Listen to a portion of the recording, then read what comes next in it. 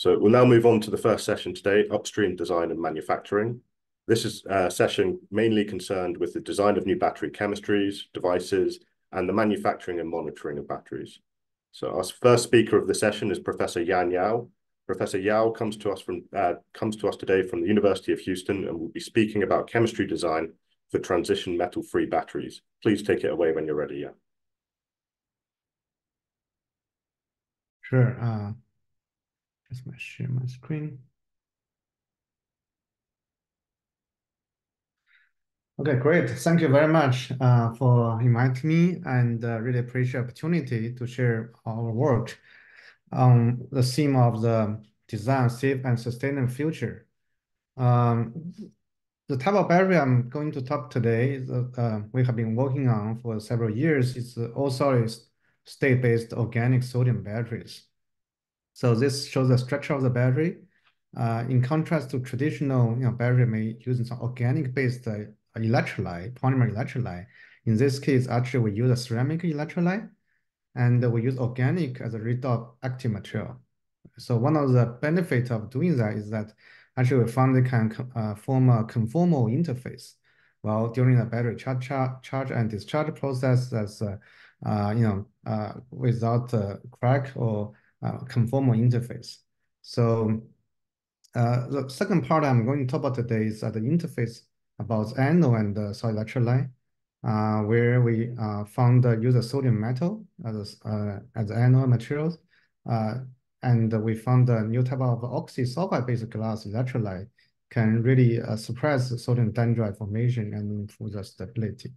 So, uh, so this battery um, is still early stage, uh, but we are uh, hoping to address this uh, sustainability issue without using abundant with without using critical metals and also potentially safe. Now, um, batteries hold the key to a clean energy future. Um, globally, now more than 15% of passenger vehicles are based on uh, EVs, and uh, this trend will continue. And last year, uh, more than 40 million cars has been uh, uh, sold globally, and more than 40 million cars is on the road right now. So this really calls for terawatt scale manufacturing and production. Uh, current lithium batteries rely on nickel and lithium and cobalt, and those critical elements are in short supply. Um, so we have been thinking about, is there any possibility to move from this transition metal-based oxide cathode material to potentially organic-based materials with only carbon, nitrogen, oxygen as the key elements. Um, so we call the transition metal-free cathode materials. Also, can we replace the lithium with more abundant metal, such as um, sodium, magnesium, zinc, and other uh, trivalent metals such as aluminum. Now, this really presents opportunities for organic electron material for energy storage. If we look at uh, some life cycle of this organic-based uh, electron materials, some of them can be uh, synthesized from a petroleum uh, uh, products or from a biomass. And the refinery and the processing, we need to think about uh, recycle for this type of batteries with advantage compared to uh, current lithium-ion batteries. And um, there, the beauty of the organic materials is that they have a spectral variation, really can provide opportunities. Um, for example, uh, in, this chemical review paper, we really compare uh, organic, different type of organic materials with inorganic side by side, such as the black, you know, inorganic based cathode materials uh, in fact, you know, many of the organic materials has the material level energy density comparable to the inorganic. Um, uh, some of quinone materials, the green shown here, uh, have the material you know, energy density more than one, you know, 800 to 1000 watt hour per kg. And also we have organic sulfur batteries, you know, higher cap, uh, capacity and lower voltage. And P-type some radical-based polymers have a higher voltage, relatively lower capacity. So, uh, but the real challenge is how do we integrate this um, organic material into a device that to enable higher device level or cell level um, energy density. Um, so another beauty of the organic redox material is that they are not sensitive to particular cations uh, because this, you know, charge balancing um, uh, compensation mechanism. Uh, for example, this quinone-based materials, it can be reversibly reduced and oxidized, and uh, almost any cation can be used to um, compensate the charge, such as lithium, sodium, magnesium, zinc. So you does not have to redesign new host material uh, for different cation. So the key challenges for organic materials, some of the reaction intermediates are soluble in the traditional liquid electrolyte, therefore leading to capacity decay. So typical uh, uh, uh reflecting the short cycle life. So one idea is can we combine the organic material with solid state batteries? Uh, for example, this from uh, Professor Poizot's group, um, they show this molecule for TMQ, it's tetramethoxybenzoquinone. They go through a two electron reaction, can very high capacity, over 200. Um, so they actually uh, work with uh, blue solutions um, to replace the ALP uh, with this organic molecule and use a PEO-based uh, solid electrolyte, uh, you know, to form a uh, cell, solid-state cells.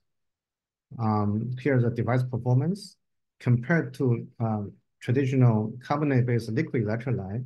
This solid-state electrolyte um, perform much better, twice higher capacity.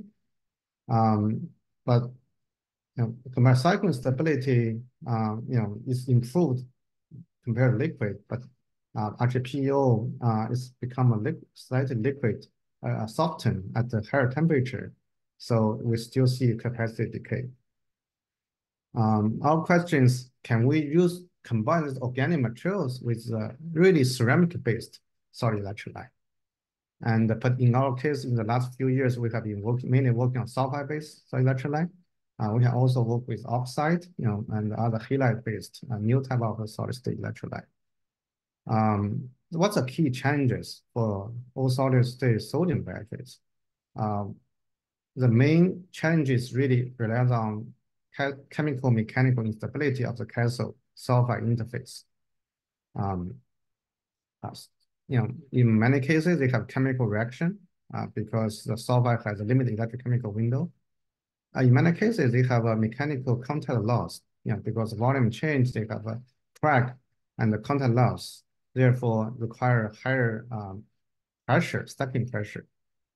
Um, also, in sometimes they have irreversible uh, resistive layers at the cathode electric interface. Uh, then limited ionic conductor coating have been developed for sodium. Um, so on the anode side, um, you know, this sodium metal and the solid electrolyte, they are not stable. Just contact them for a few hours, 10 hours or 100 hours without even with very small current density cycling, you can see the electrolyte turns to black. So intrinsically, they are chemical un, un, incompatible. So um, part of the reason is that the reaction product is electronic conductive. So therefore, enable you know uh, continual reaction with time. Um, so one one idea is to really blocking the interface with the electron insulating interface materials. And this could also lead to a sodium dendrite growth at the insert solid electrolyte. So facing these two challenges, our group, uh, uh, you know, in 2018, uh, uh, funded by ARPA-E project, we first report using organic cathode materials uh, in the cathode composite. Know, we also need to combine with sodium phosphide sulfide. This is a solid electrolyte conducting sodium ion, right? uh, different from liquid electrolyte where you do not need to mix, uh, you know, you require liquid electrolyte to infiltrate to the cathode, but in the solid state, uh, you have to premix the uh, ion conducting phase into the cathode. So these materials we chemically synthesized by, you know, sodiation, this purple compound. This actually uh, called rhodozonate, you know, sodium rhodozonate, you know, from the uh, bio uh, plant and can be uh, synthesized large scale. And uh, we show this materials actually is quite stable you know, within the electrochemical window of the solid electrolyte. And, uh, uh, you know, so compared to uh, most inorganic uh, cathode materials, this really shows the advantage of high utilization, higher capacity, uh, because their electrochemical window is right within the stability window of the solid electrolyte. So we demonstrate uh, um, for the first time very nice uh, cycling stability, uh, you know, over 150. This is two electron, two sodium reaction for this compound. So later we move to a, you know, a different organic compound we call the PTO. This is a tetratetratone um, pyrazine. Uh, you know, uh, so uh, this is uh, four electron, four carbonyl groups, four uh, sodium reaction. So this uh, give you over, you know, uh, close to 400 milliamp hour per gram capacity and over two volt. So we also show this, you know, uh, very stable. Um, at the early stage can cycle over 500 cycles. So we look into this mechanism why this is potential better uh, compared to um, you know. So we found that this, you know, compared to uh, in, inorganic materials, they are uh, after a couple of cycles, you know, they have a cracked interface. And uh, also that's why they require very high stacking pressure. We found in this case, you know, organic says we have much better interface and, uh, uh, you know, even up to 200 cycles. So this has to do with the mechanical properties of organic materials. They are highly malleable. Uh, so their hardness is uh, 0.2 gigapascal compared to 10 gigapascal of NMC. Uh, therefore, they actually can deform and uh, uh, form conformal interface uh, even during the cycling. Uh, we actually, our group developed in situ SEM to look at operando, um, um, what, how does this, you know, divide, uh, cathode particle volume uh, involved during a charge discharge process. And uh, here is one uh, example that, you know, in the NMC system, we see the uh, cathode during charging, the actually expand and may form a crack in the interface as a, inside the MC particles. But organic materials, uh, so we actually see that you know almost no crack formation. Uh, yeah, the similar type of the capacity, and we can track all these particle, individual particles, and uh, uh, compare organic and inorganic. We actually can answer the question: How much the volume change? and actually it turned out to be about 5% uh, similar, uh, you know, in the organic uh, cases. So, but we didn't see any cracking information there. So um, we also, you know, able to study, uh, you know, one of in solid state battery, one key issue is the coupled chemical mechanical properties, and uh, um, so we we actually using the, uh, you know, design a tool that combine nano uh, nano indentation and uh, ToF-SIMS. So we are able to study the interface in the organic solid electrolyte uh, systems. You know, we this bring out the interface chemical reaction products, and uh, we are able to um, measure the nano indentation of mechanical properties as well for the same sample, and uh, you know, so that we can actually produce a map uh, for same sample correlate with uh, chemical composition and its uh, mechanical modules and the hardness right, in the same sample. So we have a much better understanding how this can be you know uh, coupled to design better batteries. Um, so yeah, so softness can be over double-edged sword. Um, you know, this basically this indicates the microstructure in the battery is very important. Um, this, we also develop a solution process to really modify the microstructure so that we can further improve the utilization of the active material at a higher um, mass fraction, right? To really improve the device level, cell level energy density. So I still have uh, about two minutes. I would also quickly talk about the anode side, the, the challenges. Uh, one of the challenges that, you know, anode, you know, solid electrolyte uh, reactivity uh, and the sodium growth into the dendrite to the grain boundaries. What we found in this, you know, Nature Communication paper is that with very fine chemical com composition control, we can uh, enable this oxysulfide-based solid electrolyte with improved electrochemical stability with sodium metal. They form very, very thin and dense and self-limiting interface. And this solid electrolyte itself is a dense, fully dense glass microstructure. Um, so yeah, so this is a, a 3D reconstruction of this electrolyte. The glass electrolyte is uh, almost 98% uh, dense compared to with oxygen. Um, it's 85% dense. And the quality of the electrolyte is critical for the stability of solid-state batteries.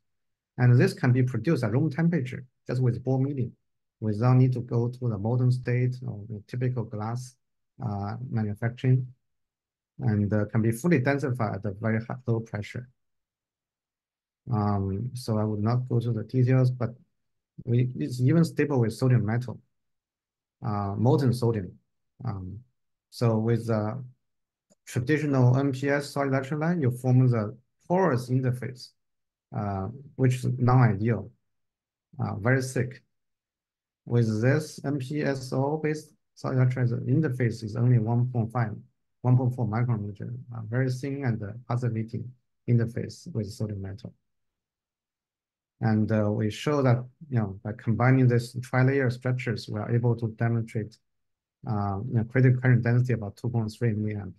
Uh, that's um, the highest with the sulfide-based uh, solid electrolyte system with sodium metals.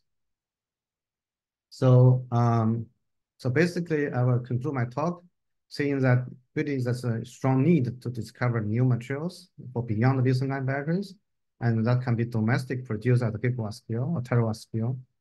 And uh, organic materials are soft and malleable, uh, form the conformal cathode interface. And uh, uh, you know, we also develop strategies to manipulate the hardness to construct right microstructures. Um, there's minor minor composition difference, very small difference can affect the overall uh, properties of the SEI and the interface. So with that, I would uh, like to thank my um, team members and my collaborators and my funding agencies. Uh, I would uh, stop here and uh, I'd like to answer questions in the later discussion, panel discussion. Thank you. Thank you very much, Yan. That was a really interesting discussion on some alternative battery chemistries, and I'm sure we'll follow up on some of those points during our panel discussion later. Our next speaker in the session is Dr. Franco Zanotto, a postdoctoral researcher from the Université de Picardie Jules Verne and CNRS. Dr. Zanotto will be speaking about advanced uh, numerical models and AI for optimizing battery manufacturing processes. Please go ahead, Franco.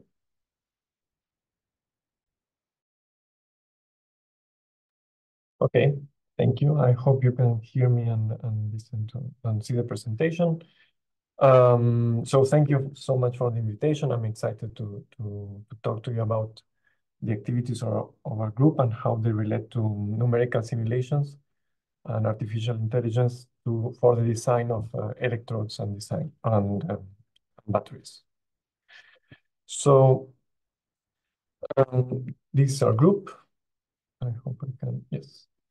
Uh, all these excellent people have uh, are working intensely on this. We have recently wrapped up the ERC-funded ARTISTIC project. This is a five-year project focused on the digitalization of manufacturing of battery cells and electrodes, focusing on lithium-ion batteries. And the idea is to address the problem with uh, physics-based simulations and uh, machine learning or artificial intelligence uh, tools. Um, I'm a postdoc in the group. Um, Professor Alejandro Franco is the principal investigator. So just to introduce a little bit on this, you know that lithium-ion batteries are uh, complex systems. They are composed of two electrodes, which uh, in the micrometer scale, they are um, they are um, let me get the pointer. They are composed of the of tightly connected the different materials and the way in which these materials are, are connecting to each other uh, is what gives the electrode its energy, its lifetime, uh, some of, the, of its safety properties, and so also something that interests us today, sustainability and recyclability properties. In turn, this, uh, this micrometer structure is uh, determined by the whole and very complex process of manufacturing, right? It's a complex process because it uh, takes place in several steps in which each step is the result uh, is uh, applied on the output of the previous step. And also in each one of these steps, we add uh, additional manufacturing parameters. So it becomes very quickly a very complex process. And if we try to, to optimize this through trial and error, we will end up with a lot of time and money lost and a lot of scrap rates, uh, uh, uh, high scrap, scrap rates and high waste, right? So this is a very complex process, and you, if we want to, to optimize it and make it more efficient and sustainable, we can think of approaches that, uh, of different approaches. One of these, which is very, uh, is rising in popularity right now, is the use of digital twins. So the idea is to have a, a manufacturing line or a pilot line such as this one, which runs in parallel with a digital twin. And this is just a copy of the real world in, uh, in the digital world, of course, which is constantly being fed with, with sensors, with data that come, come from, from sensors in the, in the real pilot line. And it can uh, imitate all of the processes that occur in the physical world. It can also uh, potentially take decisions and this uh, on how to modify the physical process to improve the, the result and uh, give instructions to actuators that act on the pilot plant or manufacturing plant, in such a way that, as to optimize in real time on the fly the, the process. This, this would potentially reduce uh, scrap rates. It would make the whole process more efficient and sustainable. So the physical-based models and artificial intelligence models come into play as the brain of this digital twin, right? And this is where the ARTISTIC project comes in. This, uh, the idea here is to use uh, these three, three legs of the project, right? Physics-based models, which is basically to go uh, a way to go from the physical laws that we already know and we know how to describe to experimental properties that we can measure in the, in the lab to use also machine learning or also called um, data-driven models, which is just um, advanced statistics. We can think of them as advanced statistics that um, correlate the input manufacturing parameters with output properties.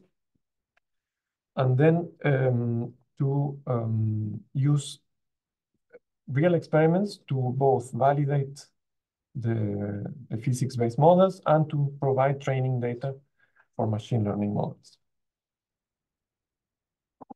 So I will briefly talk about these physics-based models to, to, to let you know, to introduce the topic and then move on to how the artificial intelligence models use these results from physics-based models to generate, um, to, to optimize the process. Basically, uh, in order to, to, we have a for each one of the stages in the real manufacturing process, we have a digital twin of each step. So the first step is the slurry, is uh, the mixing of the of the components of what will become the electrode later into a suspension, which is a slurry, which is composed of several materials such as uh, conductive additives, polymer binders, a solvent to disperse everything, and active material particles. And we describe this whole system in terms of two different particle types. One is uh, the, the real active material particle, which respects the size of the experimental part of it. And another one is a fictional particle that takes into account the presence of the all the remaining components, including the solvent. And we, we describe the evolution of the system according to a molecular dynamics-like approach. We, we call it coarse-grained molecular dynamics approach following uh, a force field potential that uh, is a combination of a Hertzian potential and a, and a Lennard-Jones potential. In this way, we allow the system to reach an equilibrium and uh, we can obtain a structure such as this one in periodic boundary conditions that can tell us information about the real system. For example, such as uh, density or viscosity. We can obtain these properties from the simulation. When we obtain these properties, we can change the input parameters to to fit these properties to the real experimentally measured ones.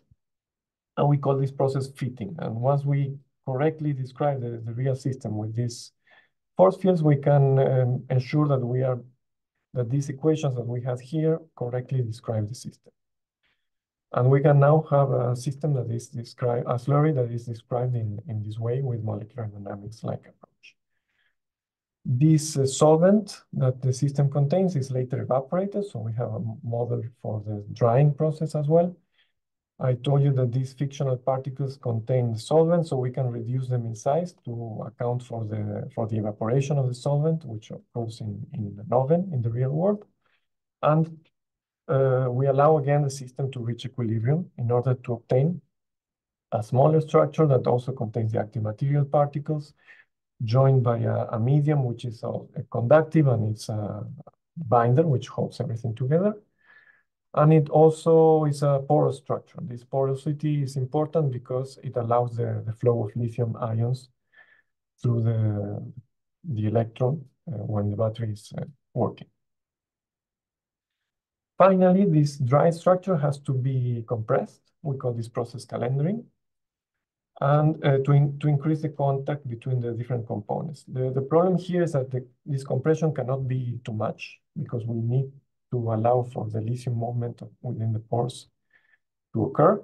So this is already giving us a, a, a, a parameter that we will need to optimize, right? We, we have to find a sweet uh, spot, a compromise between compressing too much and compressing uh, too little. And this is where artificial intelligence tools will, will come in. Just to describe a little bit of what happens in this process, it's not the same to apply low pressure or high pressures on the system uh, the system will react differently.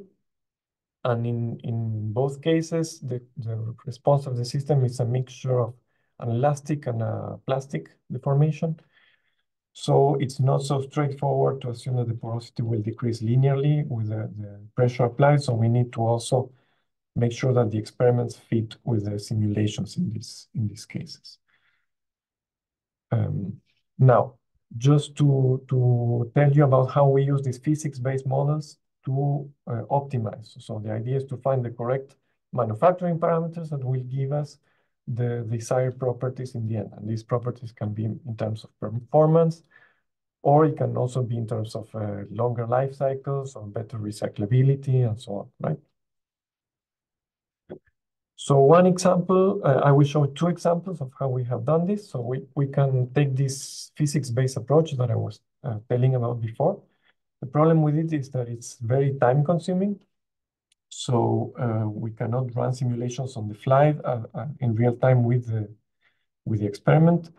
But we can use uh, some sort of smartly, some sort of way of smartly defining the, the parameter space that we want to explore. In this case, we did it with three, with, as an example for a proof of concept with three parameters. We can design a, a set of experiments, digital experiments, to explore this parameter space, and then we can run the simulations, and we can obtain the electrode properties. Now, with using some sort of uh, machine learning, in this, in this case, it's called uh, deterministic learning, is the SISSO approach.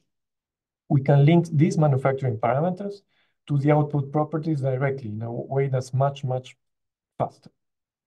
Now that we have this uh, new model, which is statistical, we can call it, it's data-based, uh, and it's much fast, faster, we can uh, use it to obtain, uh, to perform optimization, for example, or run every any kind of simulation that we want to, to do.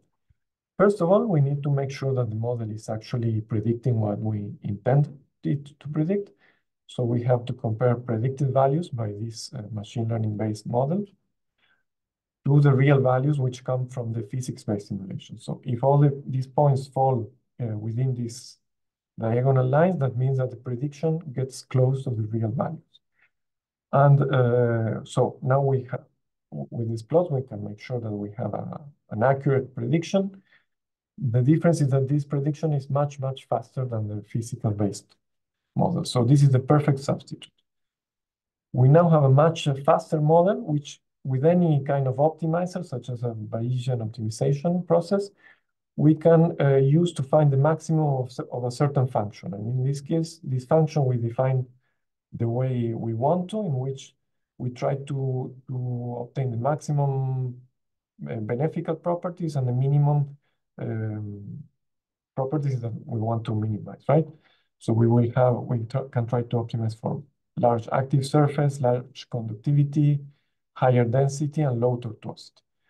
This uh, Bayesian optimizer can give us the perfect, uh, the, the optimal parameters that will allow us to reach a maximum, an optimum for these properties.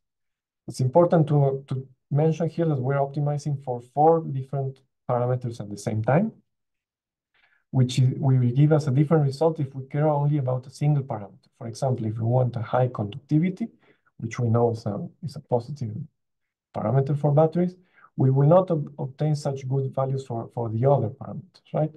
So we, have we have to take into account several different parameters according also to the objectives of the that we want to, to apply these batteries for, right? It's not the same according to each uh, function in the real world potentially for these batteries. Now, what I have described here are the four different parameters that are related to the microstructure of the of the of the battery. But uh, what about its chemical, its its electrochemical performance, right? Or even if we have uh, electrochemical performances that are better for different applications. Some applications might require high power and some applications might require high energy density. So we can analyze this by performing on top of the same uh, data set that we had before, based on physics-based simulations. We can perform uh, electrochemical simulations with a simple P through Z model. And we can obtain all of the discharge curves for these, uh, these structures that we have performed before. With the same deterministic learning approach, we can now connect two different measures that we that we that we are interested in. One represents the energy density and the other one represents the, the power density of the system. And we can obtain the best possible manufacturing parameters according to the intended result, right? First, we have to, of course, make sure that the, the predictions are accurate, the same way before, as before. We have made sure of that. And we can now use the same optimization approach as before, but focusing on different uh, goals, right? What we what if we have a need high power rates, high high discharge rates uh, capacities, or low discharge rates capacities? The optimization process will give us different results, different parameters that we have to try for each condition, but we are able to obtain a, a perfect point for each one of these uh, optimization points.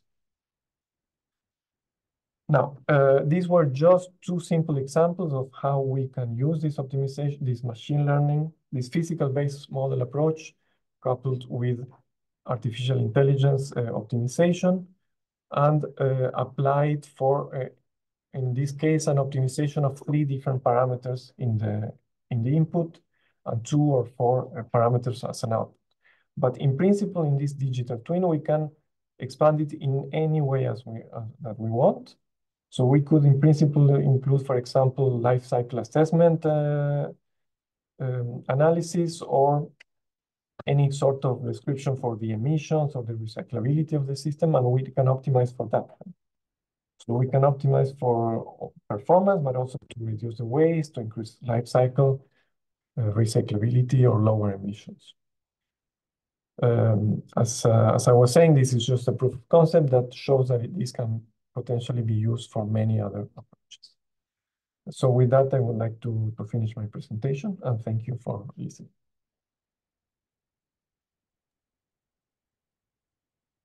Thank you very much, Franco, for a really nice talk. You know, I think uh, artificial intelligence is certainly an interesting area that the world's moving towards and would be excited to hear a bit more about this in the panel discussion. So our next speaker is Dr. Jenny Baker. Dr. Baker is a senior lecturer at Swansea University and today she will be presenting on sustainable battery manufacturing. So Franco, if you wouldn't mind stop sharing and yeah, Jenny, please go ahead when you're ready.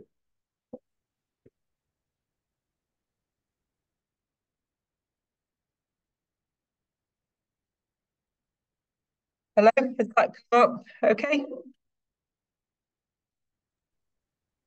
Yeah, all great. Thanks. Is that sharing now? Is that in the slideshow version?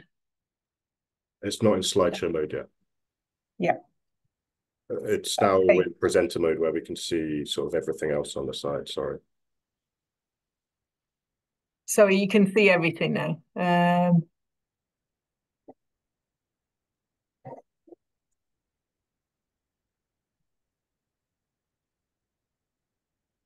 okay, Yep, that's perfect. Thank you. right. Okay, so my name's uh, Jenny Baker. I'm the battery storage lead for Specific, which is um, developing um, sustainable buildings and, and the technologies that we need for sustainable buildings, uh, led by Swansea University. And I'm going to talk about what we're doing in, in terms of sustainable manufacturing for batteries and looking at it from the concept of grid scale storage. So obviously there's many different applications for batteries from small devices to um, mobility to stationary storage, and there's overlap between those, and there's different demands on each of them. So whereas energy density and um, cost may be important in vehicles, and, and again there's overlap with that, that the energy density is less important in the uh, stationary storage, but cost certainly still is important, and also things like building regulations. Different parts of the world, you've got different regulations in terms of what batteries you can use, as particularly in residential buildings. And when we're talking about um, material, well, sustainable manufacturing, obviously you need to consider the whole life cycle. And Magda set this up really nicely from materials extraction um, to then the materials that you're going to use in your manufacturing, battery use, and end of life. And then will you recycle them? Does anything go back into that loop to create a circular economy? And the three parts there uh, in red are what I'm going to focus on for this talk because you can have sustainable manufacturing, but linking to how that battery is used um, is really important. And particularly in um, stationary storage, where you've got a choice about how it's used, whereas if you've got a vehicle's usage, it, it that's all up to the customer really. Whereas with stationary storage, you do want to use it optimally because your point is to to save money and and to provide yourself um, power. So again, following up with from Magda's, look, you want to look at lots of different things in life cycle assessment. And in our point, when we've been looking at sustainability, we haven't considered the socio-economic um, parts of that, that that create that, although that's an additional part that we can look at. But we've really focused on the technical um, sides of that. So climate change emissions, so that's typically CO2, um, ozone depletion and formation, um, a whole raft of different things. But one of the key things that um, we see when we look at um, uh, renewable technologies in general is that obviously the whole focus on them, although global warming potential or, or the amount of CO2 emitted during manufacturing and, and use is not the only thing that's important. It's often the reason for moving to renewable technologies, and that's why it gets so much focus. And obviously, the idea is that this should be reducing our, our CO2 emissions. That's the whole driver of it.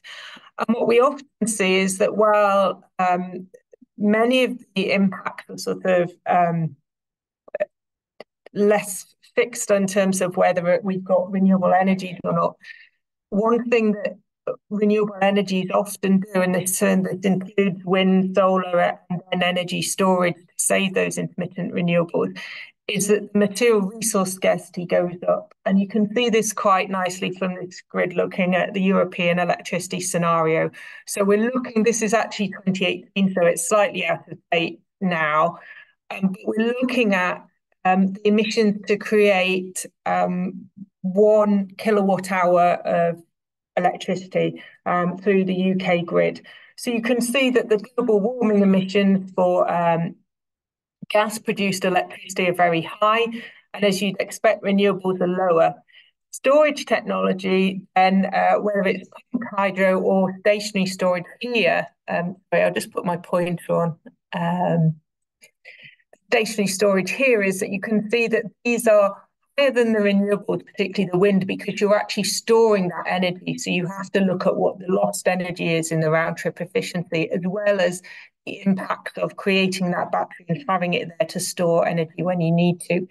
So we've made an improvement there, but when we look at the materials resource impact, what we see is that stationary storage here, um, this is lithium iron phosphate storage, is uh, much, much higher compared to just burning gas. And that's why we need to focus so much on the materials um, when we're doing these studies and when we're looking at, you know, which are going to be the batteries of the future.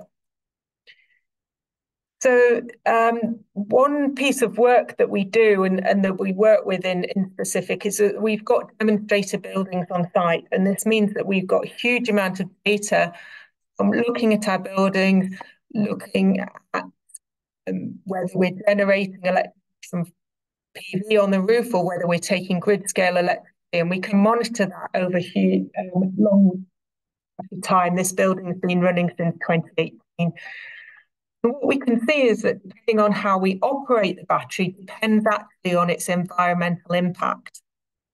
So here you've got these two that I've just pulled out uh, from the previous slide. We've got global warming potential, so how much CO2 is released. You can see that if we take it from photovoltaics on the roof, it, it's very low. The CIGS technology, which quite low global warming impact. If we take grid electricity, it's higher. Then depending on how we operate the battery, we can actually make things worse by storing the electricity. If we store high carbon electricity and then we have a round trip efficiency where we're losing some power, we can actually um, make things worse. So we really do have to look at how we're operating the batteries um, as well as just what, how we've manufactured them. And the same is true with the materials resource. You've got the opposite thing here that your solar PV uh, is much higher impact compared to your grid, and the battery storage is somewhere in the middle. So I just put this slide in because this this came up in the press very recently, and I think it ties back uh, both to Magda and Franco's talks that the current battery manufacturing uh, routes are incredibly complex. They require huge numbers of different parameters that we don't fully understand how they all fit together. And battery manufacturing is happening in China. We're then, if we're to bring new plants uh, into the Europe and, and the UK, we need to make sure that we're competing with them, which means that we have to have the same levels of control, the same thicknesses, um, and the same performance of, of, those batteries. And therefore, at startup, this can be incredibly painful. And I think Franco's work is fantastic here, looking at how we can reduce some of that pain. This headline suggesting 90%. I think not everywhere it is that bad, but it really is a, a key issue when we come to who's going to make the next generation of plants and, and especially when you're coming from behind in terms of manufacturing experience.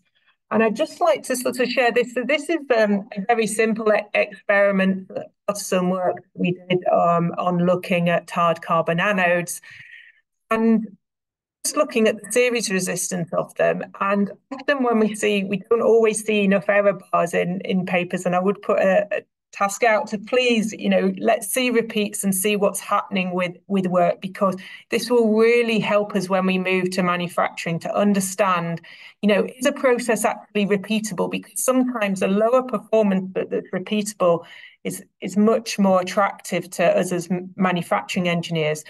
And this actually completely ties in with what Franco was saying about the um, the speed of mixing and the, mixing being really important because here we saw a nice trend. If we add more carbon black, we get a higher, uh, lower resistance of, of our uh, anode material, not looking at any of the other parameters in, in this state now. Yet when we increase the, the mixing speed, we see that that carbon black um, is no longer having the effect that we expected it to, and we also have a tighter distribution. So it's really important, even if you're a chemist, to sort of at least quantify uh, the um, manufacturing parameters that you're using, because that will really help uh, the next generation of manufacturing engineers or the, or the next step uh, in order to put those into production. Um, I'm conscious of time, so uh, in terms of manufacturing, there's a huge number of different areas that we can look at to make things more sustainable. But what I'm just going to uh, look at really is this final one, which is the architecture. And what if we made the batteries completely differently? And this brings back a, a, technology that isn't particularly suitable for mobility applications, although in, initially there were some ideas that people could fill up an, an electrolyte tank for a flow battery in vehicles, but I think that that has moved on now. But they are particularly suitable for um, long duration storage and they have long lifetimes. So if we're looking at sustainability, yes, we want to recycle end of life, but the important thing is that that battery is in um, use for as long as possible. And often we can use things such as the zinc bromide batteries that we've got in our active classroom um, that um, are less susceptible to issues with fire. One of the disadvantages is because of the pump nature that the need that you've got a pump running all the time you can have lower round trip efficiency. The lower energy density is less important in buildings. And we've done some work with Sheffield university looking at modeling how these are used and if you can set them up um, in a modular system as opposed to single large uh, batteries you can actually reduce uh, the impact of, of some of those lost efficiencies and the cost does really depend on the situation, how often you're charging and discharging. So um, that's still out there, and they're still at much lower volumes than typical lithium ion uh, phosphate batteries, and therefore it's very difficult to compete when you're comparing those sorts of scales. But they certainly do have some potentials in cost and are being used more in grid scale storage what we looked at in terms of sustainable manufacturing is similar to the zinc bromide, but this is um, an aqueous lead flow battery um, developed. This this is um, a prototype that's been developed in IISc Bangalore, where they were looking. They've got a big tank of um, electrolyte under here, and this is about a half kilowatt hour um, flow cell. And we did a full life cycle assessment, modelling, looking at the raw material extraction, the energy needed, and then the emissions as well coming from manufacturing that. And what you can see here is we've done the life cycle assessment here, concentrate on the red box. Um, so we're just looking at a few things, but the yellow is the material depletion potential that I've shown you. It's very low in all of them um, because the materials used for this technology and the global warming potential um, is quite high. But what we showed during the life cycle assessment, we were able to work with um, the team to look at what things would help them reduce some of their impact. And um, you can see here, this is typical for most um, flow batteries, is that almost 70% by mass is electrolyte. And that does have some advantages at end of life because it means that you've got a big tank of the majority um, of your uh, materials that can easily be sort of separated out and regenerated and uh, going back into a new battery. I'd then just like to compare. So we settled on the um, best option here, and the material depletion is much lower than even the sodium ion battery here.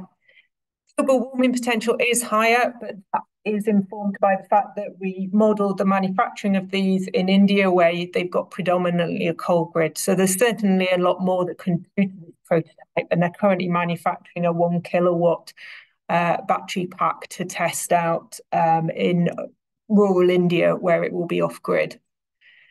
So, in summary, uh, the use phase of batteries in uh, stationary storage is really important to determine the sustainability the material demand is one of the limiting uh, moves to net zero, and we need to make sure that we conserve our materials both by ensuring longer lifetimes, reducing the um, criticality of the materials we use, and looking at them at end of life. And I think looking at different architectures does give new opportunities at end of life and for man- manufacturing. I'd just like to say uh, thanks to the team in, in Swansea who supported on this and uh, IISc Bangalore and Sheffield. And thank you very much. Thank you, Jenny. That was great. It was really interesting to hear about. And uh, as with everyone, we're going to follow up on some of these points further in the panel discussion later. Uh, so now I'll introduce our final speaker of the first session, who's uh, Dr. Dhammika Widanalage, who's an associate professor at the University of Warwick. Today he'll be discussing smart battery management, I think. Please go ahead, Dhammika. Thanks, Andrew. Good.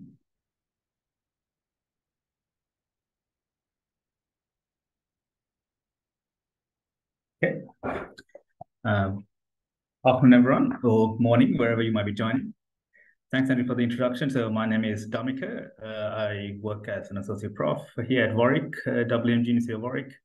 And the session that I'll be presenting is called uh, Smart Battery Management for Sustainable Systems. So what I thought I'll do is um, I've sort of got three key parts I would like to cover to bring out the underpinning concepts of why BMS technology matters in sustainability of electric vehicles. So I'll uh, touch upon that, why, it, uh, why you should consider it. Um, and then spend a bit of time in saying what a smart battery management system is. Uh, and talk about battery life in particular, which is um, where I see uh, much of the value can be brought in in terms of uh, adding sustainability into uh, electric vehicles once they're deployed. And end with a case study that we recently finished, um, thanks to funding we got from Faraday Institution in collaboration with an industrial partner as well. So that's uh, what I'd like to go through. So perhaps to start off with, um, the um, there are there are mandates that have been put in place um, for EVs, uh, in particular that they have to you know last eight years or at least hundred thousand miles uh, when when purchased by a consumer. But what, what it really means is that uh, within this time, really the capacity of the battery uh, should not fall below 70% of its starting value. Should that happen, then the manufacturers will need to replace the battery packs, and that's uh, quite an expensive uh, activity for them to perform. But to be honest, even you know, when we buy a vehicle, we, we don't really think of it just for eight years. We would really like to have it being used for much longer and you know have several users, you know, switch hands with these electric vehicles down the line. So what that means in terms of anticipated scale, I was just looking at the projected growth of EVs here in the UK, and we certainly have a steady growth of number of EVs that enter the UK roads. So in 2023, it was around 270,000. Um, this year, it's predicted to be about uh, 300.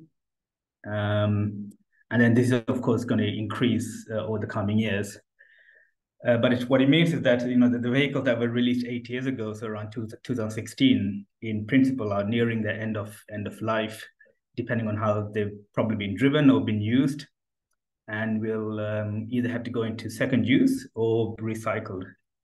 Right, and I think this is where BMS, or battery management, can really play a role to try and extend this usage rather than having to you know, uh, um, rather than um, recycling or putting them to second use, is to try and really prolong this usage case uh, during during deployment. Um, so to do that, I think BMS has a crucial role, and I would like to sort of maybe explain a bit what a battery management system tries to do in this regard. So BMS is a fundamental tech in B, uh, electric vehicles. It really manages the uh, full battery pack in terms of uh, safety and etc. But there are some key roles it has to do. The first one I would say is to evaluate the range, right? So the, the customer, the driver needs to know how much further they can go um, at any given particular time. And we normally call this state of charge estimation. Um, so the X here means it's not just state of charge. There are other metrics as well, such as state of power and state of health. And these are all crucial to sort of from a experience point of view, these are important metrics. It'll tell you how far we can go, how much power we can extract, and how long the vehicles uh, expected to last with SOH, but a bit more on that later. Uh, another important feature is to balance these cells. So we, you know, in a, in a battery pack, you could typically have hundreds, if not thousands of cells, depending on the cell format. And it's quite important that these all, you know, are sort of work in a uniform homogenized manner.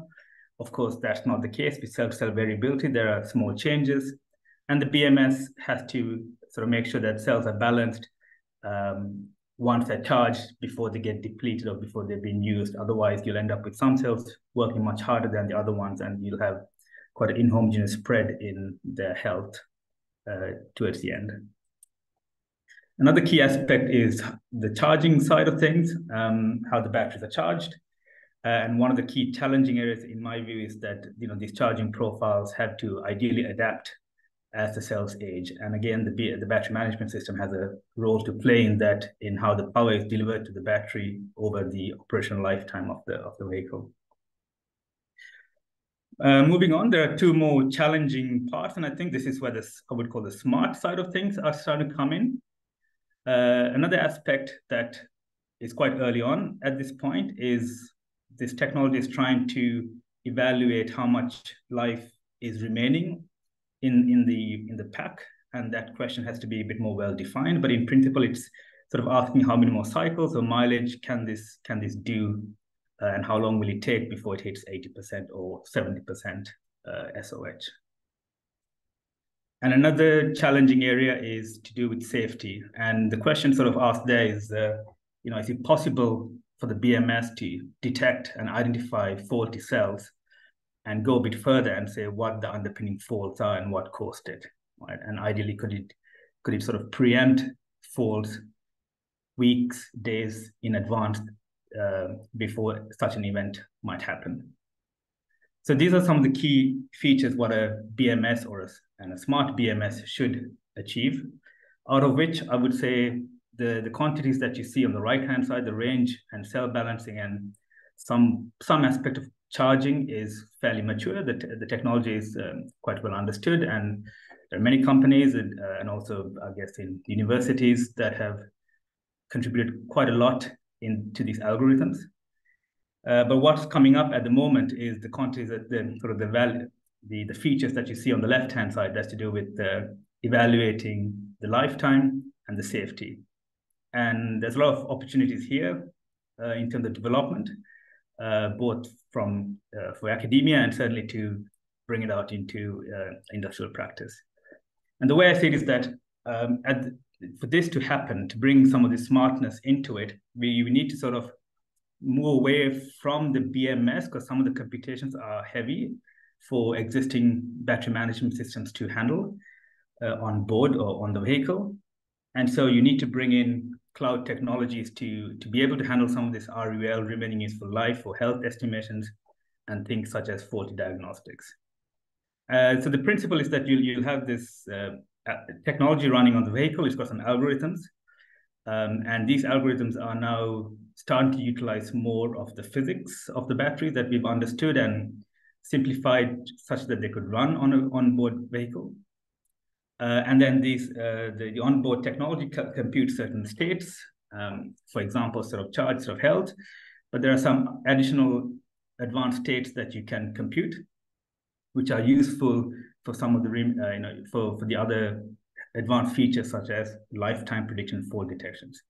So if, if you can then transfer this across to a cloud infrastructure where there's much more, you know, there's no limitations on the uh, computing infrastructure, you could run much more high fidelity models there to evaluate some of these uh, quantities and then sort of do some corrective measures, uh, either indicate the user that a fault is about to happen or manage how the charging is done by suggesting, you know, you're doing this many fast charges, perhaps reduce it to this many fast charges per week if you want to extend the the life and the sustainability of the vehicle. So there are some corrective measures that can be done and that can be fed back. So, you know, we normally call this over-the-air updates, for example.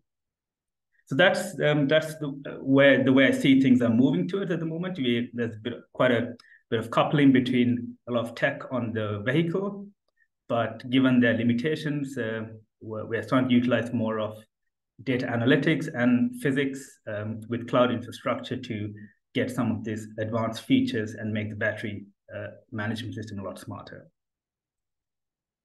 So with that said, I'm going to focus on one aspect uh, going forward, which is on battery life. So it's called the remaining useful life problem. So what I would like to do is to show some example data sets that we've gathered here at Warwick. So this is a high energy cell, uh, the LGM50 cell. And what you see on the vertical axis is the um, normalized capacity as a function of the, uh, the, the charge, the work it's done is a discharge throughput. We can, of course, with some assumption, convert this discharge throughput to a mileage, you know, assume a certain number of cells in a pack and a vehicle efficiency, and you can sort of convert this to a mileage equivalent. But we're showing this as a function of amp power. So what you're seeing is, uh, you know, some example capacity fades achieved at 10 degrees Celsius. Uh, we have a slower discharge of 0.3 C, and then sort of a, a moderate discharge of 1 C. And interestingly, when we increase the discharge to 2 C, you would expect the yellow curve to be lower, but maybe for another time and another session, we're seeing the, the fast discharge to be aging much slower than the, the slow 1 C discharge. Uh, but then if you move to the charging, uh, and, and sorry, and if you increase the discharge at lower temperatures, it starts off well, and then you get what's called this knee point effect, where things start to collapse very quickly. And this is quite a, this is definitely a scenario you want to avoid or be able to preempt when this might happen. And if you similarly do fast charging at low temperatures, for example, 10 degrees, things get even worse. Uh, and it's often recommended not to do fast charging at low temperatures.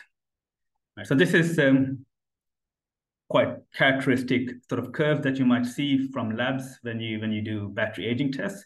This is an example where we conducted this for a year and a half or almost two years. And here, this is the typical sort of uh, curve that you might get. So with this in place, what people try to do is they, they try and you know get hold of. I, I want to say what the battery health is, uh, you know what, what the lifetime could be, and the way I see is there are three approaches you might take to this.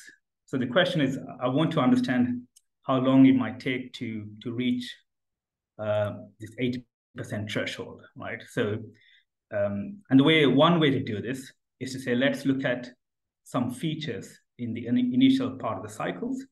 For example, you know, give me the first 100 cycles, I'll extract some features, and I'll tell you how long it'll take to get to 80% uh, based on another kind of a cycle, right? So this this this kind of a problem definition is useful when you're doing battery manufacturing, where you want to evaluate, you know, the, the design choices that you make at quite early on, uh, and to understand, you know, based on a few cycles, will the electrochemical performance uh, remain uh, for for this cell?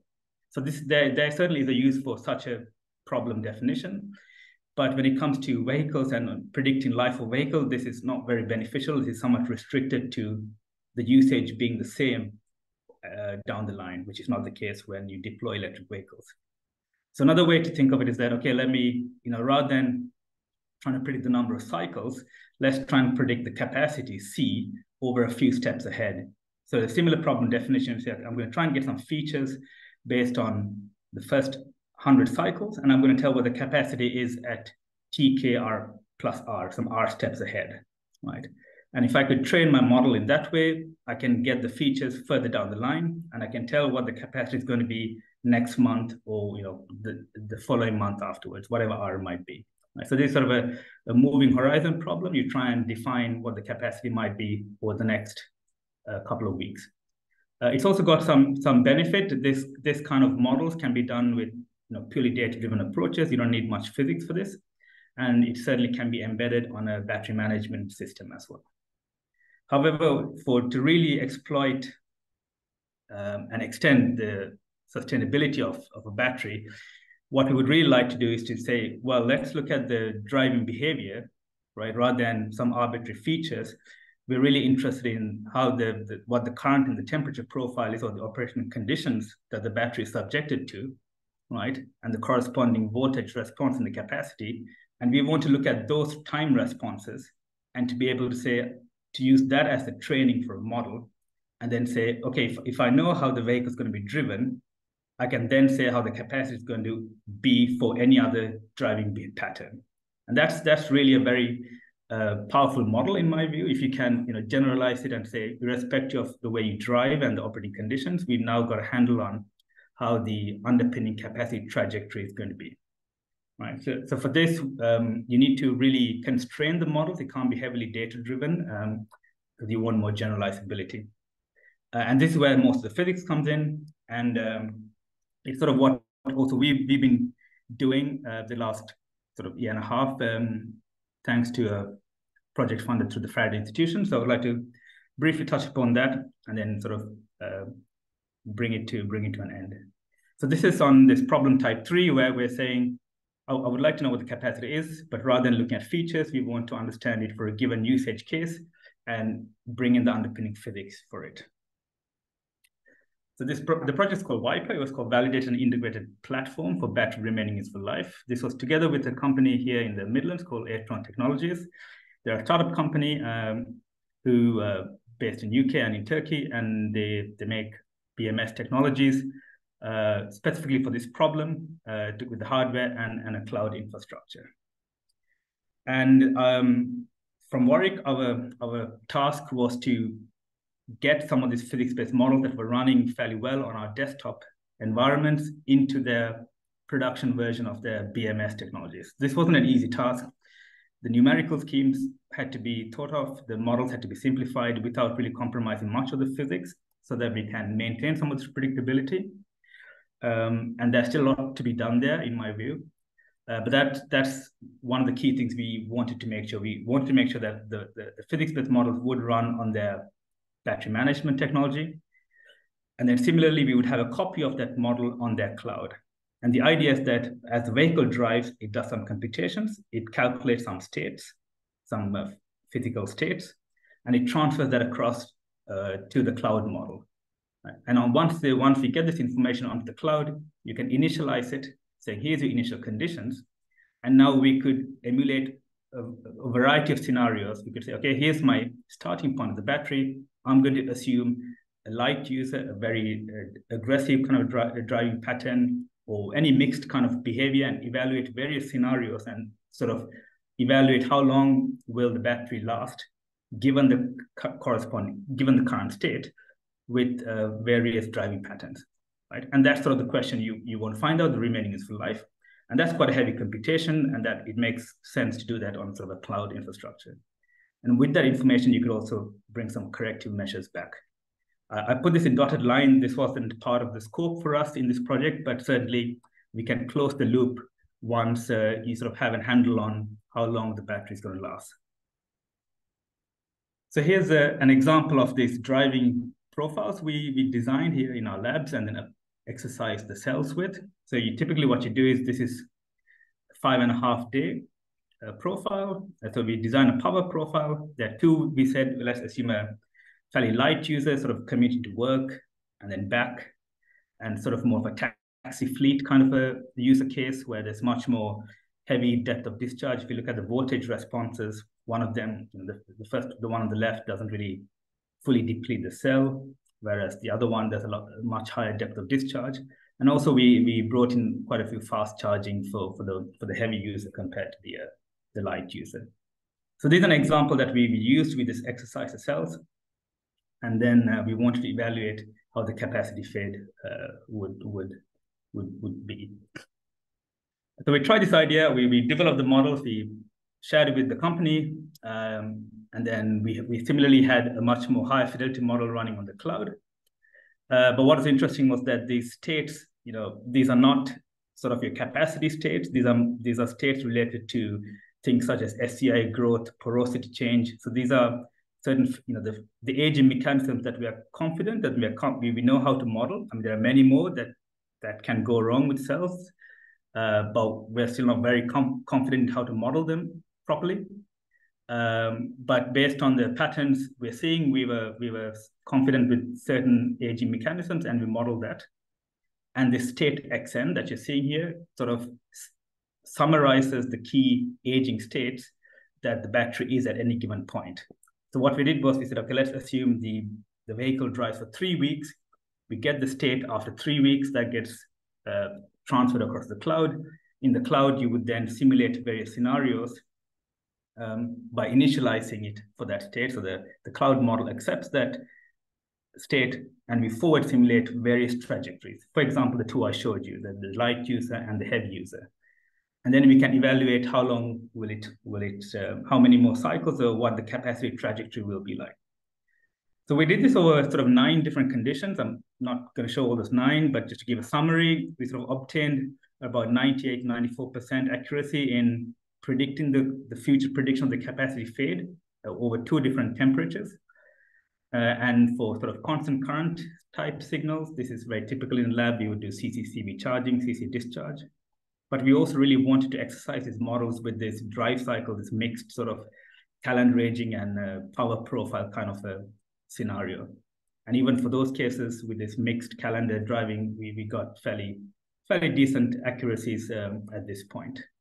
So this is quite a nice outcome, but I think there's uh, plenty more uh, to do, in my view, having having gone through this task.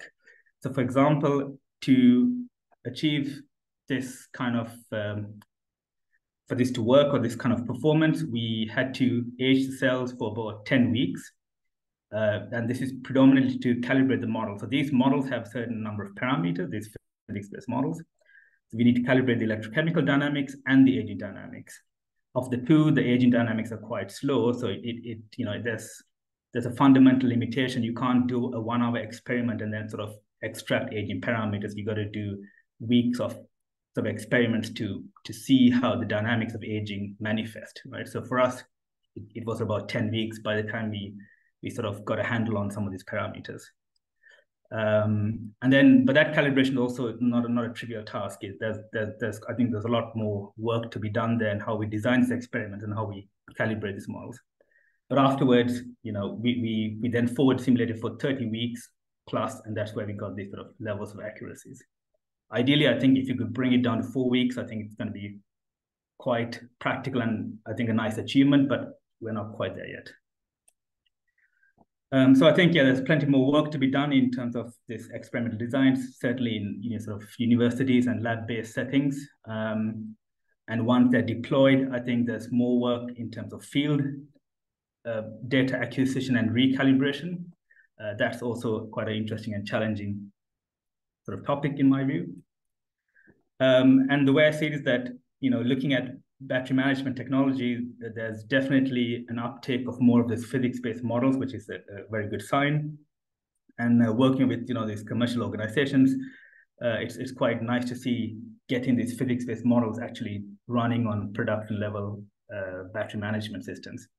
It's quite early stage in my view um, because um, there's quite a few more fundamental challenges that we need to address uh, in terms of estimating this X, the state X I, I showed earlier. There's uh, more work to be done there. But I think when uh, when these advances happen, I think there's considerable value that the smart BMSs will bring about to sustaining sustainable EVs. All right. So with that, I would like to um, sort of conclude with the key acknowledgements that this work was done by, uh, with a nice team here at Warwick, Farhan, Mingzhao, Jishnu, my PhD student, and Nessa, uh, and a fantastic team of en engineers from Eatron Technologies and uh, the funding from the Faraday Institution. So thank you very much. Great. Thank you so much again, Dhammika. It was a really interesting talk. And yeah, I can't wait to hear some more about it in the panel discussion that we've got coming up now. So just before we get on to that, I just want to thank all of our speakers for this first session again, sharing their really exciting insights and research with us. Uh, at this stage, we'll start our panel discussions. So I'd like to invite all of the speakers to turn on their cameras and microphones, and we'll get started. So I'll start out with a question for Magda, maybe. So, uh, you know, you gave a really, really nice overview of how many different factors and the variety of different things that need to be considered towards sustainability of batteries. I wonder if you could maybe comment on where you see the priority areas being or the uh, the challenges that the community need to focus on in the first instance, uh, moving towards sustainability of these systems? Oof, that's that's a very difficult question because I think we need to we need to address all the life stages of a battery life. Um, they're all equally important. Um, so I guess from my personal interest, but not because this is the most important part, I would say try to eliminate critical materials as much as possible. But of course, as everything in life, it comes to a co to balance because if we eliminate completely critical metals, the performance may not be as good as as the other. So so I think Professor Yan Yao gave a very nice example on how we can do that potentially with the solid state batteries and so on. But but yeah, it's never it's never as sweet as we would like to be. Um, another thing that I, I I see is try really to manufacture these batteries better. Try to eliminate all these nasty components that we are currently using in in their manufacturing.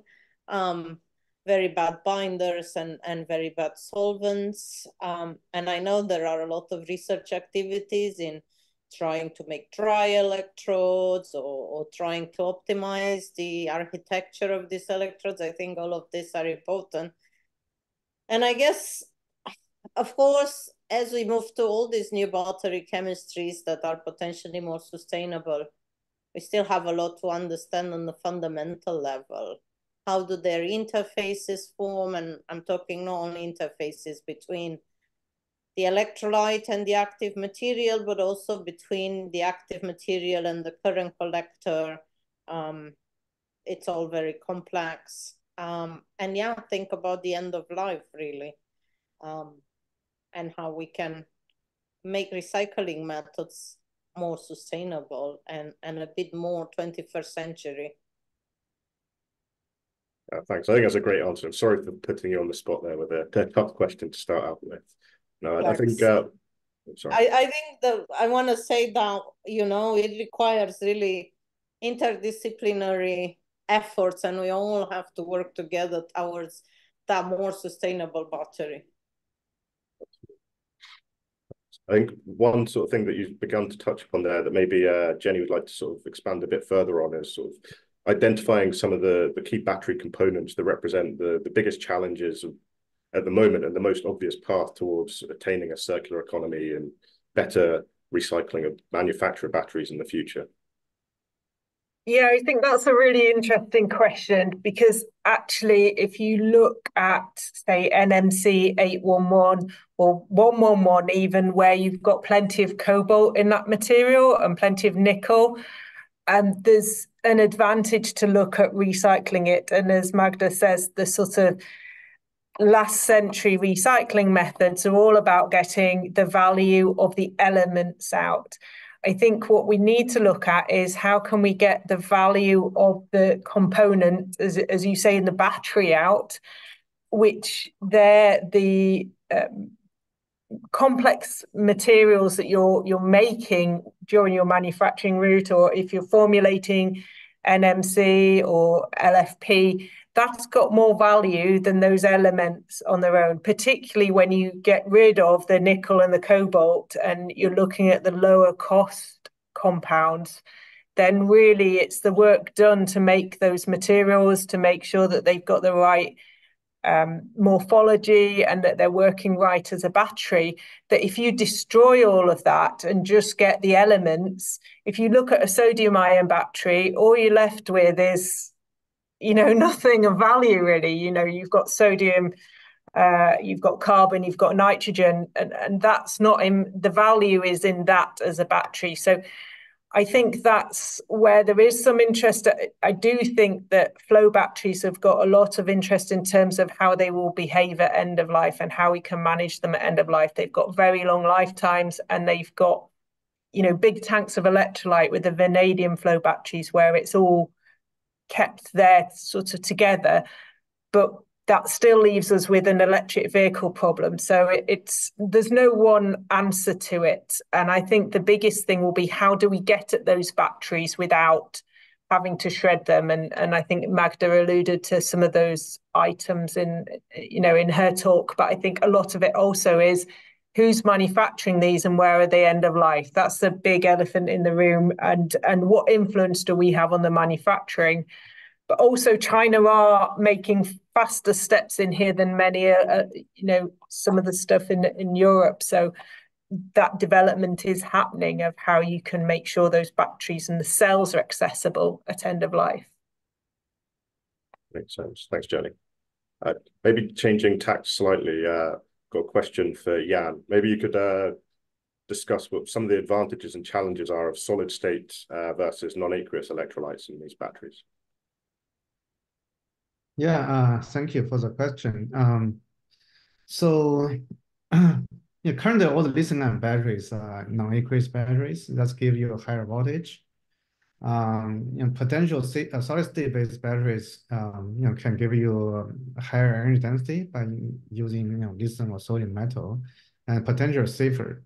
Um, but you know, currently solid-state batteries still have some challenges for large-scale, you know, adoption. Uh, one of them is the pressure, the stacking pressure uh, required, and uh, um, you know, because you know the solid-solid contact to maintain good contact during charge-discharge uh, you know, is still required by applying some higher pressure, probably 10 times, at least 10 times more than what we are planning to uh, liquid non-aqueous based uh, systems.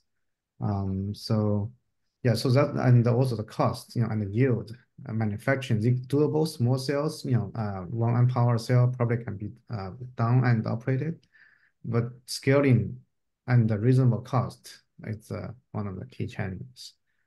Um, so, but also, you know, relating to my talk on organic-based uh, cathode material and the sodium systems, I think uh, this community, relatively small community, and in the past, people mainly focus on the material level study, new materials, focus more on material level energy density. I think to have more impact, really, we need to start to do more on the cell level understanding, right? Uh, because that's, uh, you know, that's important, you know, to present cell level understanding. And a lot of new science need to be discovered because, uh, for example, what we realized, you know, the electrolyte amount, you know, is, is an inactive component, but actually pretty quite critical when you, you know, design, scale up new battery systems. Uh, you actually spend, uh, you know, typically 10 to 15% weight electrolyte, but in some battery systems require 50%. Right? This relate to the microstructure engineering, how do you calendar, you know, how do you, what type of carbon you use. So I think that's uh, still, you know, to really make a practical, you know, for new uh, non-lithium-ion based system, uh, you know, looking to the, there's so many opportunities, both uh, fundamental scientific understanding and, uh, you know, manufacturing related some you know, aspects, engineering problems have been tackled. Yeah, yeah. thanks. Uh, again, changing tack slightly, uh, you know, digital twins seem to be a more popular area in, in many different uh, aspects of energy and materials research generally at the moment. I, uh, you know, I think both uh, Franco and Dhammika, you've sort of touched upon different elements of that in your uh, in your talks. I wondered if you know, maybe starting with Franco, but I'd love to hear both of your thoughts on sort of where we are at the moment, where the sort of current status of being able to implement digital twins in battery systems and uh, how you see the sort of future of development of uh, digital twins being used across the sort of whole range of batteries from, you know, their uh, operation, their optimization in the manufacturing process, all the way through to sort of end of life and life cycle.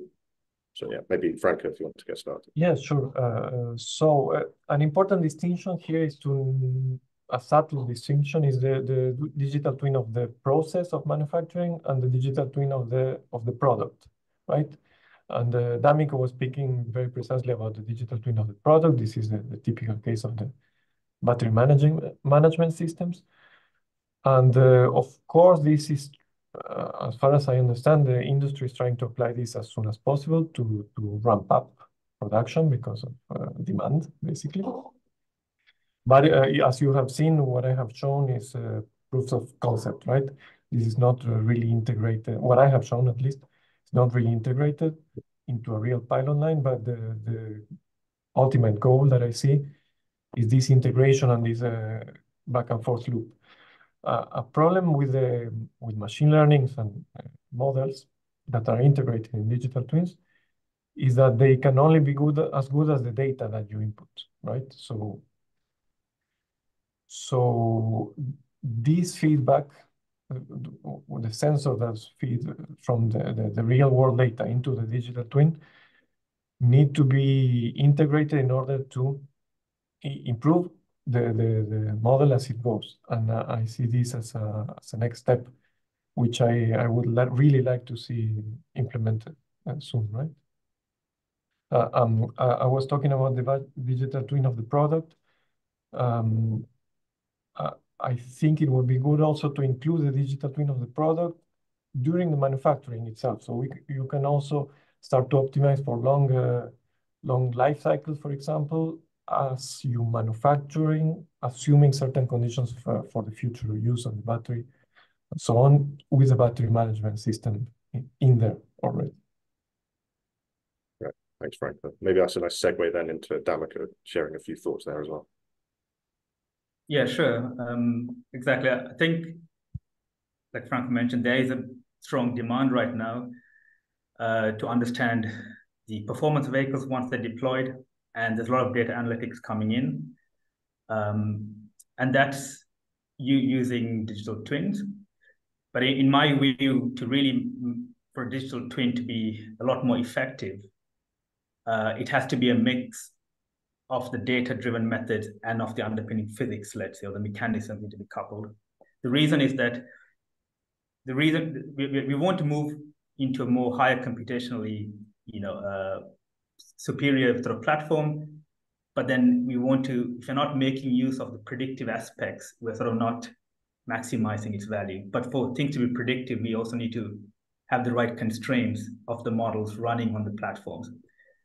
Um, the reason is if, if we can achieve those predictiveness with confidence, we can make better decisions as to what can be controlled, whatever we can control to extend the sustainability of these devices. We could we could ask more challenging questions on how should it be used such that we know these constraints are going to happen. And I think that's that's where things are moving. It's sort of really machine learning is very well mature. There's a lot of techniques, and that's being used at the moment with many startups as well. But the way I see it is that the trend is going to be as the physics develops as well from more fundamental understanding, that's going to make its way into these digital twins as well, more and more. And then we're going to have uh, much more, I guess, meaningful sort of questions that could be asked um, from these digital twin campaigns and sort of hopefully get a more valuable feedback mechanism. Great. Yeah, thanks for sharing. Uh, moving tact again slightly, maybe going back to Magda, you know, I, I realize you ran out of time a little bit, but you started sort of touching upon uh, the different sort of carbon electrode chemistries that you've been working on in, in your group.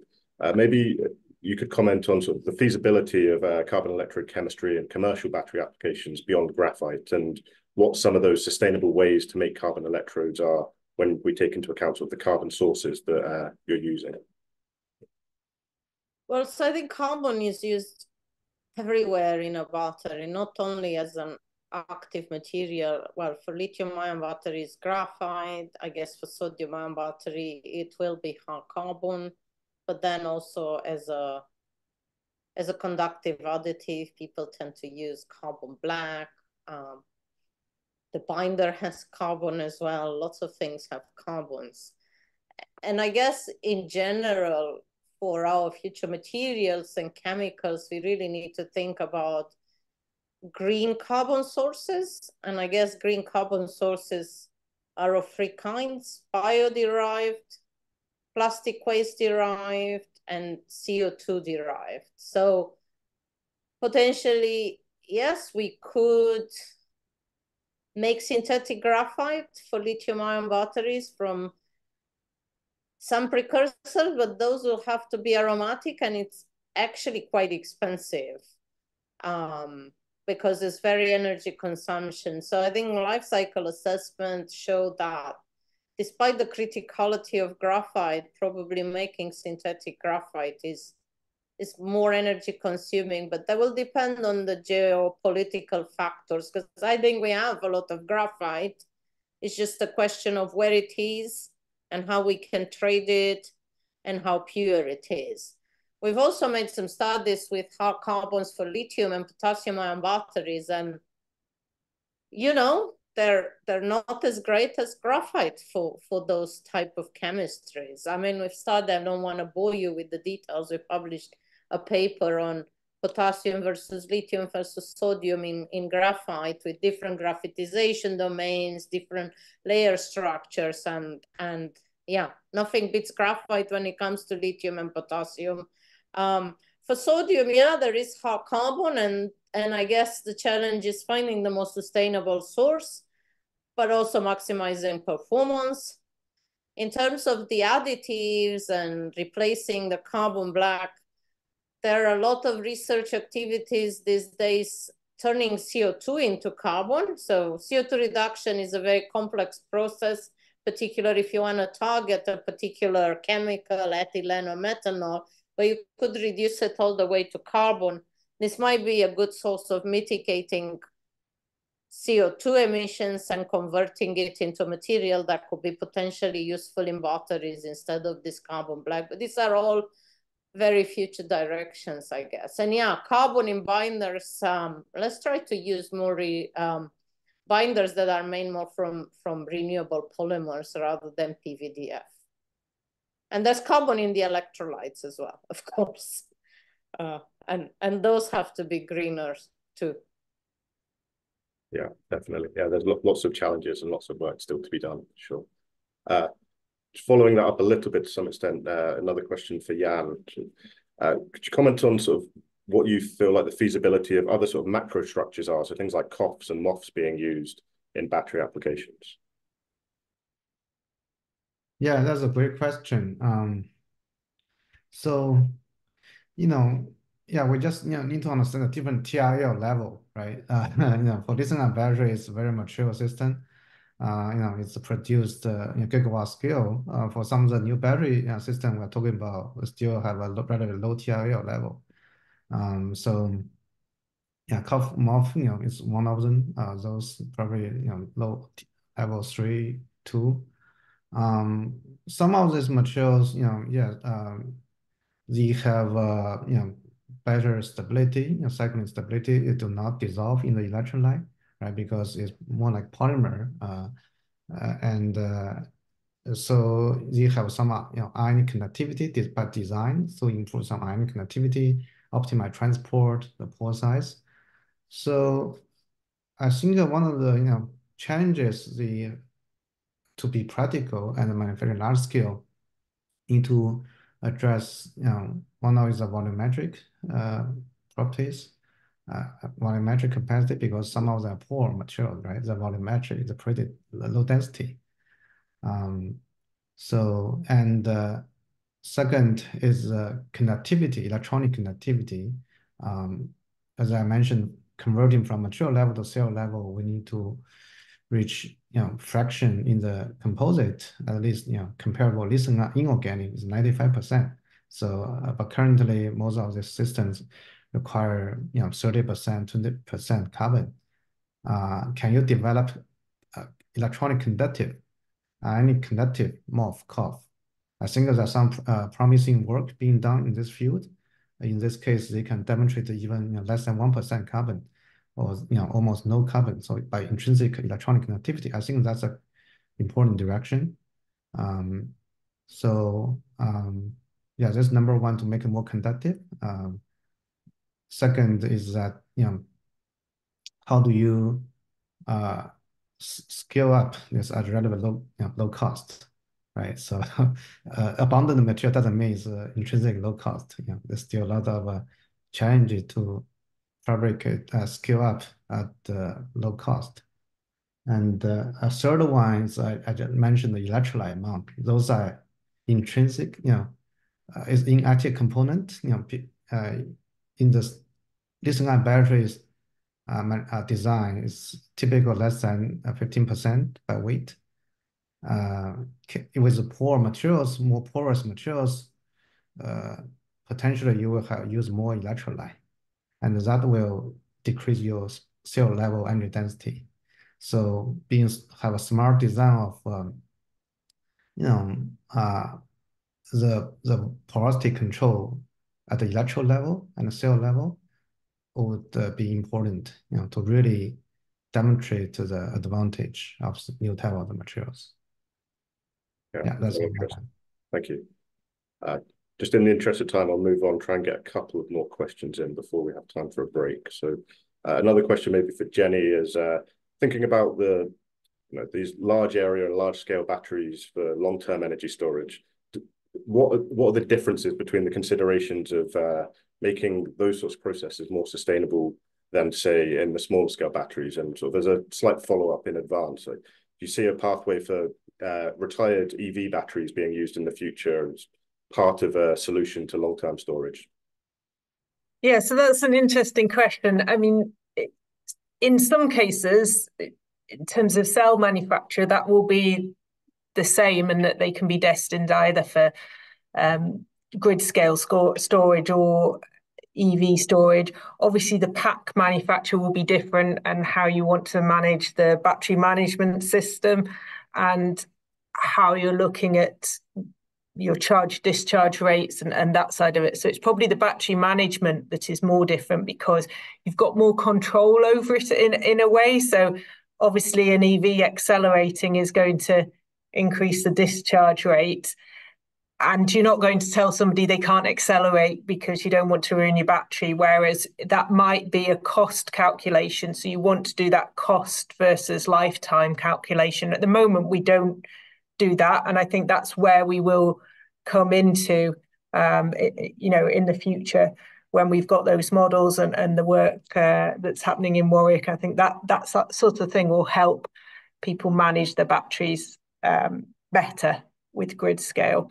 In terms of looking at second life, this is a good question. And we see it also in solar PV where you may have a, a solar farm that's being re um, getting new panels put on it because the new panels are more efficient and they can work better than the old panels, even though the old panels still work, which is effectively what you're you're saying would happen at the end of life with batteries. And the key question is how do you certify that end of life battery to make sure that you know it's still got some life left in it? What is the cost of that recertification? And what's also the cost of the person to install the battery, the inverters, the battery management system. Because if all of that additional is worth proportionally more than the battery that you're getting at the end of its life, then you then question do you want to take that risk of into your building not putting a new battery but putting a second life battery in when you've got all of those additional things so i think that's something that it will be a risk cost balance that will happen and it will really depend on the auxiliary costs around installing that battery. How far are you having to transport it? Does the vehicle drive right up to the the battery? Is it taken out somewhere else or in another country? So you need to include those financial and you know environmental costs of that shipping um, and I think there's also another thing that if that second life, I mean, at the moment, vehicles are the, the warranty to eight years. Many are staying on the roads much, much longer than that.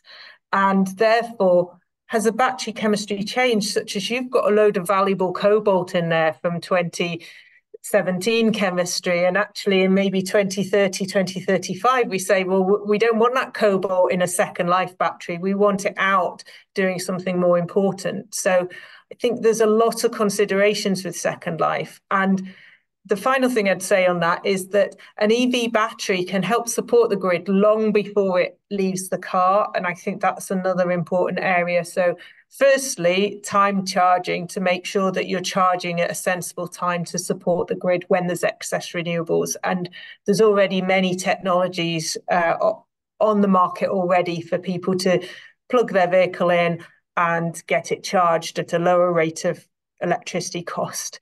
Then there's vehicle to grid, which is a lot more complex, and um, that's uh, outside of, of, my remit of, of work, but where that battery can help, especially people who have low mileages, particularly at the end of the life, it might have a sort of second life still in the vehicle. Somebody who only drives a few thousand miles a year who wants a vehicle that's sort of plugged in all the time to actually be be doing that operation without it leaving the car. So it's a complex question, and I, I think there'll be many answers to it. Yeah, thanks, Jenny. Uh, we're running a little bit behind, so apologies from my side for some poor moderating, maybe we'll say. I, will have uh, one final question that I'll sort of wrap in both to Franco and Dhammika again.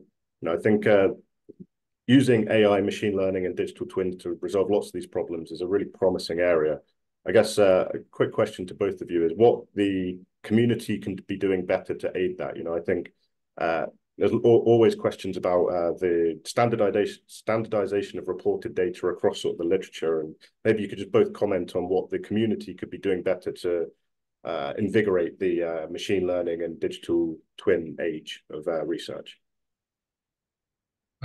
So uh, yes, definitely standardization of, of data, both from experiments and, and if you are running uh, physics-based simulations, uh, this data also needs uh, to standardize. And we have not really seen any kind of standard for reporting this.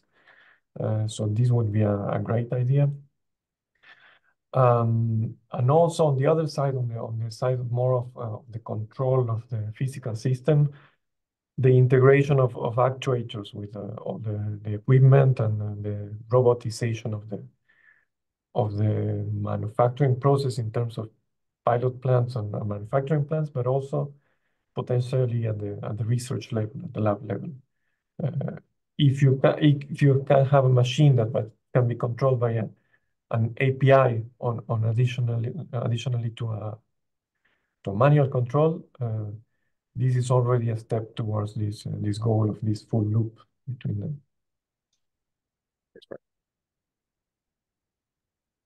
Yeah, could add um, as well to that. Um, I, I, think given that these are, you know, these AI machine learning techniques are very power data hungry methods, certainly what we as a community can do is to aid in the data sharing process. Often, you know, these data just sits in our labs once the experiment's done, once the project's finished, that's it that's the end of that fate of the data just lives there, right? And I think there's a lot more benefit if we can somehow make it open access data sets, not just the you know, the code base, which is which is good. Uh, so I think that's definitely something we can do a lot more. Certainly, the universities, um, and um, I think that's something personally I'm trying to push as well. But that still only gets us up to a certain point because these are lab grade experiments. They're nice and clean, done under certain controlled operations. If we could also get industries to somehow share data sets, you know, with certain um, practices in place, I think that's really going to boost this place, uh, this community up. I think. I think it is possible because you know there's some of these data doesn't necessarily have personal information stored in them. So it, I think I'm sure there are ways around it if we can get companies to, because they certainly will be tracking once the vehicles are deployed and they will have access to it. Uh, so I think there's, commun- there's communication required between governments, universities, and industry, how we could also have access to such data from commercial vehicles or fleets, if you know, uh, in the future. I think. Sense. Yeah, lots of food for thought there. So, I mean, uh, firstly, apologies to everyone for overrunning slightly, but firstly, I just wanted to say that uh, we've come to the end of the first session and we'd really like to thank all of our speakers again. So Magda Titirici, Yanyao, Franco Zanotto, Jenny Baker and Dhammika Widanala, given some really inspiring and engaging presentations and discussion there. And uh, I think it's been a really great session so far.